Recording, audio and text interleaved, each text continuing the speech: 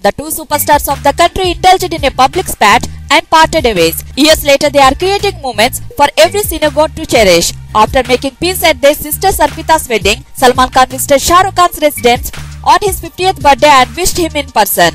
Shah Rukh Khan took to Twitter to share two pictures when Salman paid a late night visit to his friend's residence. The first picture that he posted, he captioned it as Bhai teaching me the moves for Sultan on my birthday. And the moves did seem perfect for two wrestlers, indulged in a friendly fight. The next picture was a Prem Ratan Dhan Payo moment for Shah Rukh captured.